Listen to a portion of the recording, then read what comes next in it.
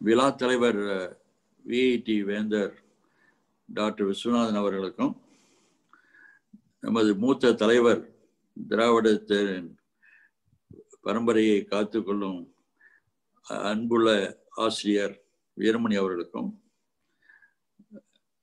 என்னுடைய சகோதரர் ஜெகத்ரட்சன் அவர்களுக்கும் நமக்கு மதிப்புக்குரிய தமிழ்நாடு காங்கிரஸ் கமிட்டி தலைவர் அழகிரி அவர்களுக்கும் மதிப்புக்குரிய சென்மோசுந்தரம் அவர்களுக்கும் இங்கு உள்ள டாக்டர் விஜி ஜி. சந்தோஷம் அவர்களுக்கும் சுந்தரவடிவேலு முரளி அனைவருக்கும் என்னுடைய முதற்கண் என்னுடைய வாழ்க்கை வணக்கத்தை தெரிவித்துக் கொள்கின்றேன்.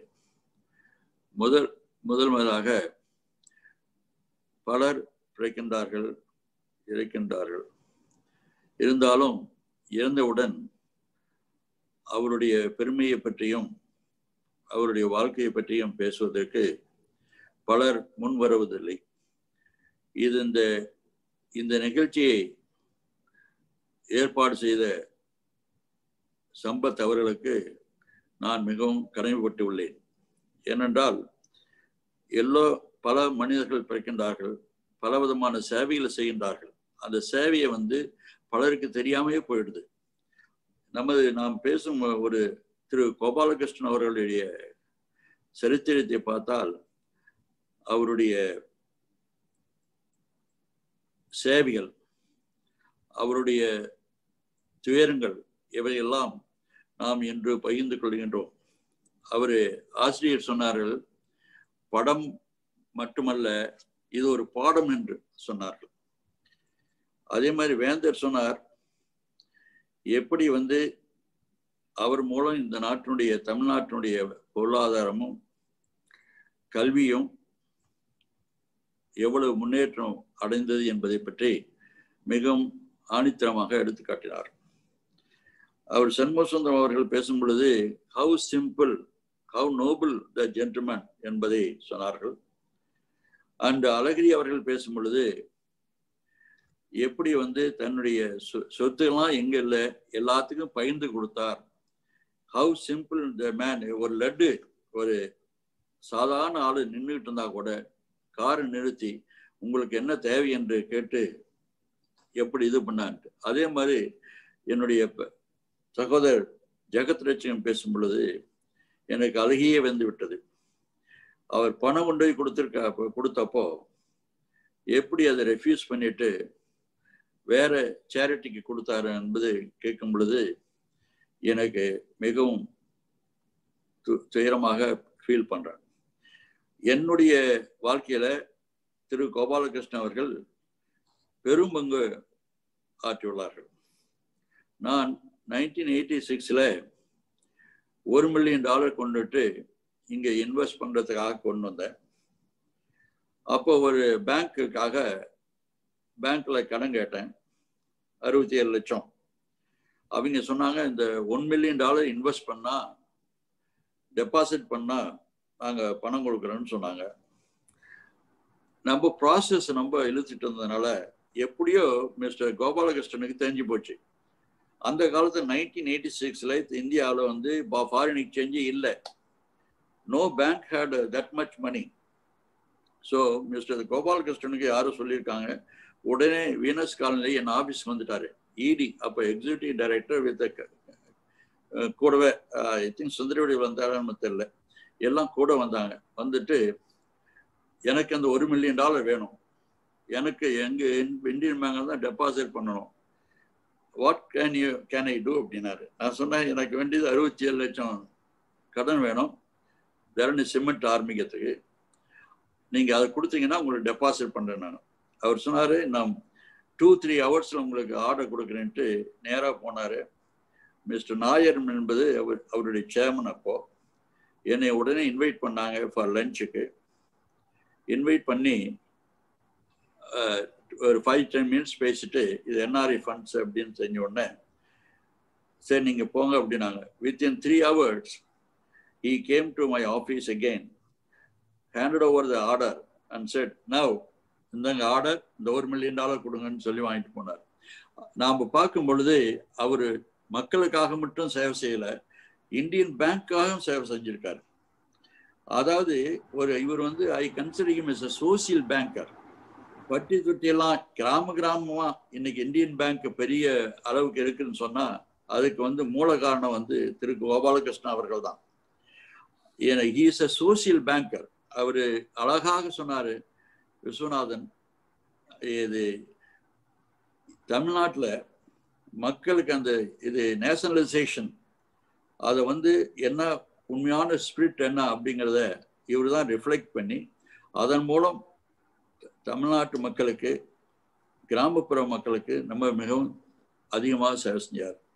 ஒரு தடவை நான் வந்து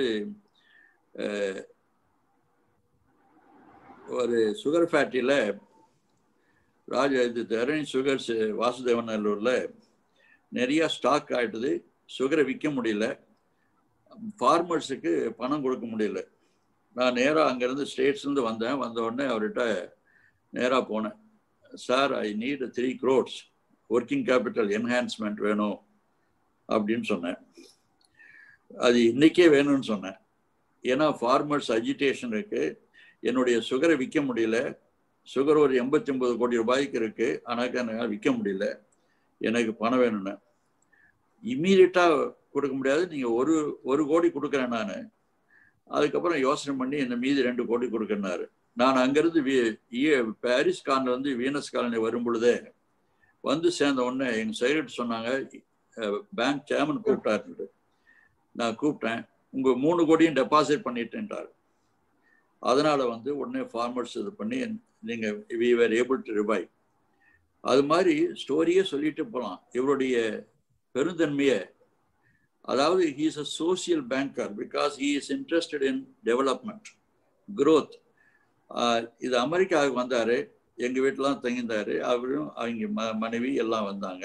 அவரோட அவருடைய ஜேர்னல் மேனேஜர் சாரங்கராஜனும் வந்தார். வந்த பொழுது கோயிலுக்கெல்லாம் கூட்டு போனோம். வாஷிங்டன் கூட்டு போனோம். கூட்டு போயிட்டு நான் சாரங்கராஜன் சொன்னேன்.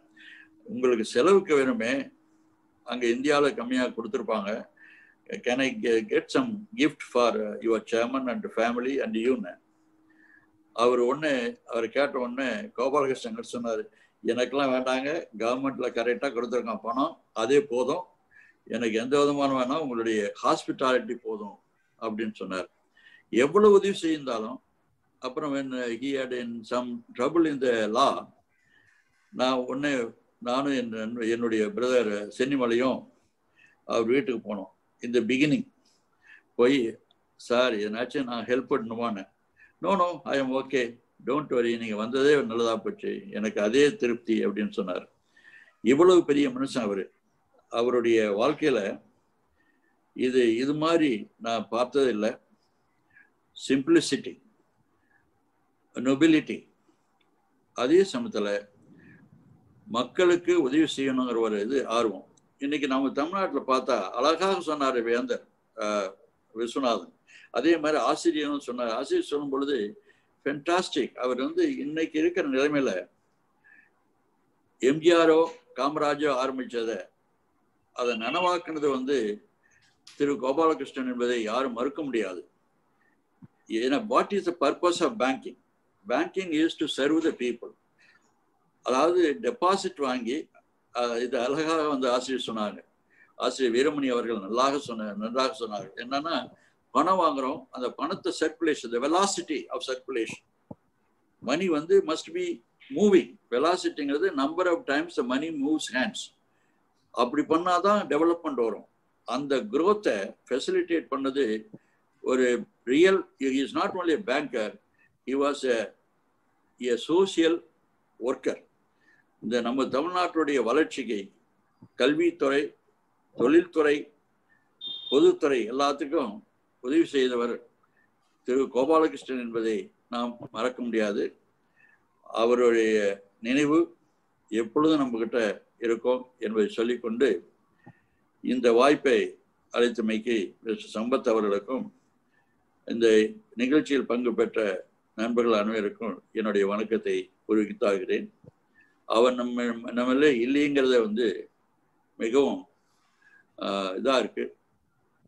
But anyway we will remembering forever அவருடைய நினைவு நமக்கு ஒரு பாடமாக இருக்க வேண்டும். நம்ம நம்மளை முழு முடி- முடிந்த அளவுக்கு நமது சமுதாயத்துக்கும் நம்மளை சார்ந்த மக்களுக்கும் உதவி செய்ய வேண்டும் என்பதுதான் அவருடைய பாடமாக நம்ம எடுத்துக்கொள்ள வேண்டும். ஆசிரியர் சொன்னதை ஞாபகமாக வச்சுக்கணும் இது படமாக மட்டும் இருக்கக்கூடாது. அவருடைய வாழ்க்கை ஒரு பாடமாக இருக்க வேண்டும் என்று கூறினார்கள். அதை தான் நாம் கடைபிடிக்க வேண்டும் என்று சொல்லி வணக்கத்துடன் என் உரையை முடிக்கின்றேன். நன்றி.